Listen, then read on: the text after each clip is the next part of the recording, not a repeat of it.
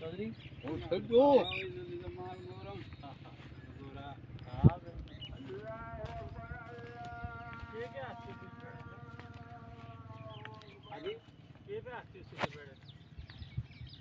ਇੱਕ ਤਰੀ ਆਖਨੇ ਇੱਕ ਦਾਲ ਨਾ ਦਨ ਨਹੀਂ ਕੱਢੇ ਤੇ 2 ਸਾਲ ਢਾਈਆਂ ਮਹੀਨੇ ਦਾ ਉਹ ਆ। ਰੋਜ਼ਿਆਂ ਵਿੱਚ ਹੋਈ ਸੀ ਨਾ, ਦੂਸਰੇ ਰੋਜ਼ੇ।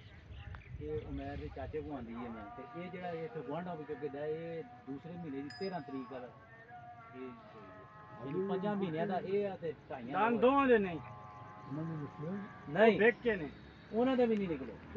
ਨਾ ਨਾ ਦਾਨਾ ਵਾਲਾ ਤਾਂ ਐਤਕੀ ਖਾਤਾ ਹੀ ਕੋਈ ਨਹੀਂ ਹੈਗਾ ਹਾਂ ਦਾਨਾ ਸ਼ਾਨਾ ਵਾਲਾ ਕਿਤੇ ਬਾਈ ਚਾਂਸ ਹੈ ਕਿਸੇ ਦਾ ਨਿਕਲਣਾ ਨਹੀਂ ਨਿਕਲ ਦੰਦ ਜਾਂ ਕਿਸੇ ਨੇ ਵੀ ਨਹੀਂ ਕੱਢੇ।